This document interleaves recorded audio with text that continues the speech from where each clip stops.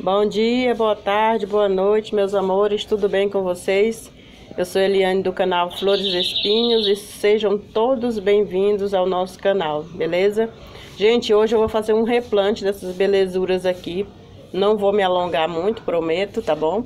É, eu já tô aqui mostrando uma, algumas que eu vou ter que fazer esse replante, são cabeças, tá?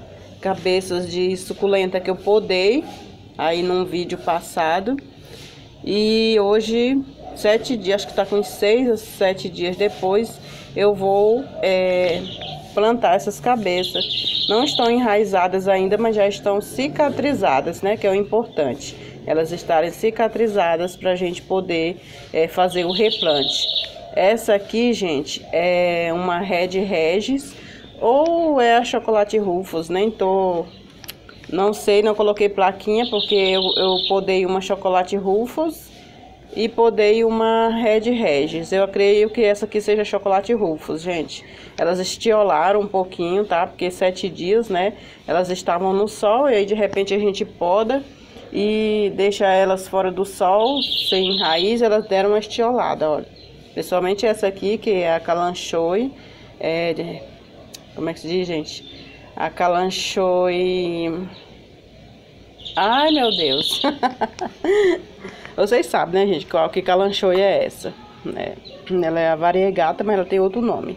E ela tava bem vermelhona no sol, tava bem lindona. Mas aí eu podei, olha, e ela deu essa estiolada legal aqui. Ela estiola muito fácil, tá? Mas é, o tronco dela tá cheio de bebezinhos ali em cima na laje. E foi o propósito mesmo da, da qual eu fiz essas podas para poder adquirir mais mudas, né, gente? Principalmente dessas que a gente é mais difícil a gente encontrar, né? Por aqui, por onde eu moro, então nos garden não tem, tem que comprar sempre no site e tudo mais. Essa aqui é também uma mudinha feita já por decapitação, ela cresceu, né, no tronco, no caule, e eu já fiz essa poda. É, é uma Gladys Cuervas. Aqui nós temos a Gila. Eu também podei para ter mais muda. Aliás, ela já tá dando uma muda já no tronco. Já tô super feliz. É, e eu vou replantar essa cabeça aqui, porque eu quero que ela fique bem grande. Tem outra aqui, que era meu xodózinho também, né? Que é essa daqui, gente. É... A Furry, né? É muito lindona, ó, é variegata, coisa mais linda. Ela fica enorme. Ela também deu uma estiolada, porque aqui é a cabeça, né? E deixei no tronco lá para dar umas mudinhas, né? Pra gente propagar aí a... mais mudas, né? Que é o modo mais simples e mais fácil da gente ter novas mudas, é decapitando, né? E tem gente que tem muita dó de fazer a decapitação, mas eu não tenho, gente. E eu também falo para vocês não ter, porque é melhor você fazer a poda, né, e ter mais mudas do que você ficar só com uma e de repente ela morrer, né? Aí vem o arrependimento de você não ter podado para adquirir mais mudas. Essa aqui é uma mudinha de Afterglow, também já é muda de tronco que eu fiz, né? E ela já deu essa crescida. Tem outra ali na laje, mas eu tô deixando ela crescer mais um pouquinho para podar novamente. E também vou colocar tudo nessa bacinha aqui, gente, olha. Ela não é uma bacia muito funda, tá vendo? Mas é muito bom para colocar essas mudas que ainda são pequenas, né? É, do que colocar numa grandona dessa. Eu fiquei na dúvida de colocar numa grande, só que aqui vai, vai ter muita terra, né? E aí na época chuvosa, é, com muita chuva, tipo uma semana chovendo tudo, né? Aquela chuva torrencial não vai dar legal. Pode apodrecer a planta mesmo, é, a, o substrato sendo bem drenável, né? Mas com muita terra, muito fundo assim, demora muito para secar. Então, como estamos aí em época de chuva, né? Então, decidi replantar numa menos funda, né? Numa mais rasa, com um substrato bem leve. Aqui vocês estão vendo aqui bastante areia, mas é só uma camada por cima, tá? É uma nova estratégia que eu tô fazendo aqui que eu vou experimentar essa nova estratégia e depois eu falo para vocês se realmente dá certo de colocar tipo assim um substrato embaixo bem bem drenável né com com todos os as adubações e depois eu coloco uma camada aqui de, de areia grossa né de construção para dar é, uma leveza a mais, né, na planta. Mesmo se chover bastante, mas ela está em cima da areia grossa e só as raízes dela lá, né, descendo para o substrato. E assim a gente não vai ter tanto apodrecimento, eu espero, né, gente? Então, se der certo, eu falo aí nos, nos próximos vídeos para vocês, tá bom? E isso aqui, ó, é só um pouquinho de, é, de borra de café que eu joguei aqui em cima, né? E vamos aqui começar o replante. Eu também tenho essa aqui, gente, que eu não sei o nome dela. Olha, eu ganhei uma mudinha de uma amiga, olha o tamanho que ela tá né? Ela é parecida com a Fred Ives, mas não é a Fred Ives. Deve ser outra aí que eu não sei o nome, tá bom? E tenho aqui também a cabeça de uma glauca, que ela estiolou, né? Mas ela tava bem fechadinha. Eu só tenho ela, né? Porque as outras morreram. E eu decidi fazer essa decapitação no vídeo passado dela, para poder ter mais mudas dela, né? E ela já tá dando lá no caule, já tá dando umas mudinhas, para ver se eu faço a propagação mais rápido. Aqui temos uma mudinha de híbrida de mandala. É... Aqui temos uma comum, né? Que eu creio que seja a Fantome.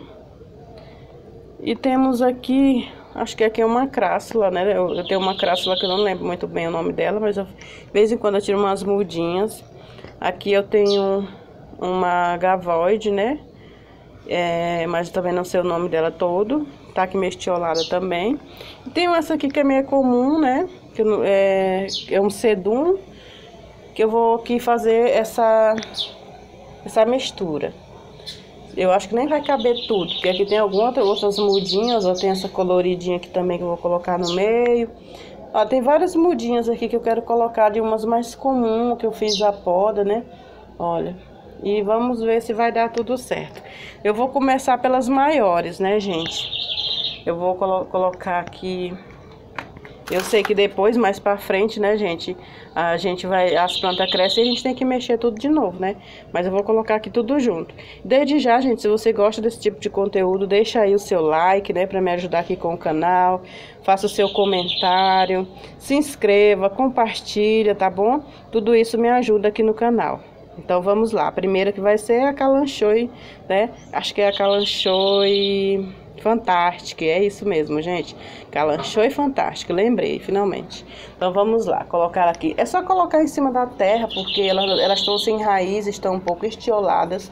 Então é só mesmo para deixar ela aí, ela vai enraizando de boa. Ela ficou meio feinha essa daqui estiolada, viu, gente? Não ficou legal não. Mas todas estiolaram. Aqui eu vou colocar também. Vou colocar aqui um pouquinho de distância. Olha, porque essas aqui elas crescem bastante, gente. Cresce bastante. Então o que que eu vou fazer? Eu vou fazer aqui um mix, colocando uma que cresce muito é, e uma menorzinha que não cresce tanto, digamos assim, para também compor um mix aqui de cores, né? Essa aqui que fica bem branquela, eu vou colocar pra cá. Olha, colocar aqui. E já vou colocar uma que fica bem mais coloridona ao lado dela aqui. É coisa rápida, gente. É só colocar mesmo aqui e já é. Vou colocar essa lindeza aqui, né? Olha. Vamos colocar essa grandona, que ela fica bem grandona, gente, aqui. Né? Um pouquinho mais pra cá, porque ela vai crescer muito muito mesmo. Vou colocar ela até mais pra cá.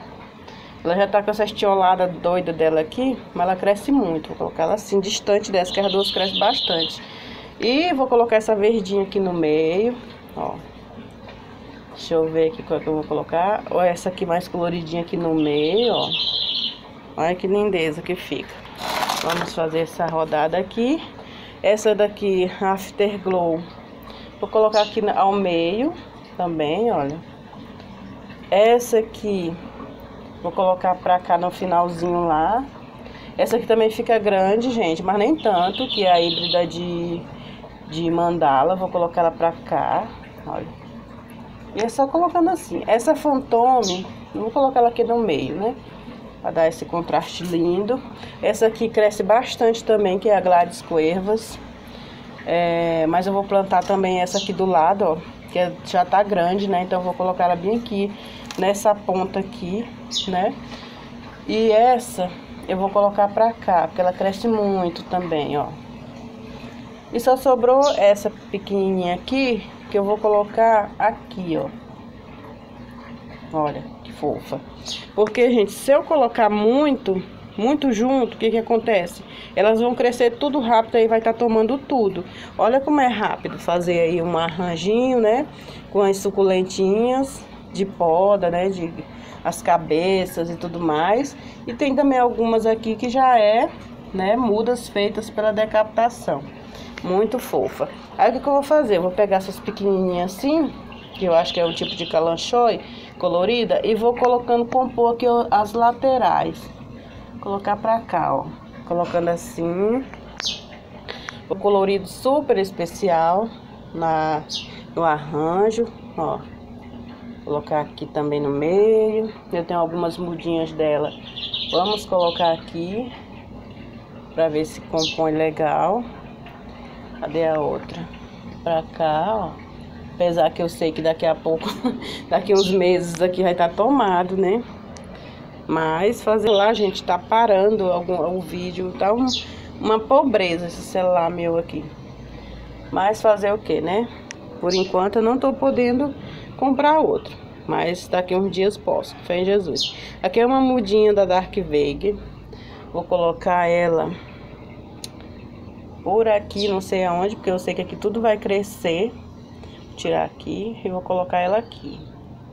Olha, bonitinha. E essa aqui colorida vai ficar bem aqui mesmo. Olha que pequenininha, gente. Eu não sei qual é essa, mas eu vou colocar ela escondidinha por aqui, né? Aqui no meio, né? Vou colocar aqui. Deixa eu ver se tem outra aqui, ó. E mais uma pequenininha. Eu vou apostar nas, nas pequenas Deixa eu dar uma olhada aqui. vou colocar ela bem aqui do ladinho, ó. Bem aqui na, do ladinho, vou colocar essa maiorzinha no meio aqui. Olha, gente, que ficou, gente. Eu não vou plantar essas aqui, ó, porque essas aqui, elas crescem... Ela é mais das comuns, né, gente?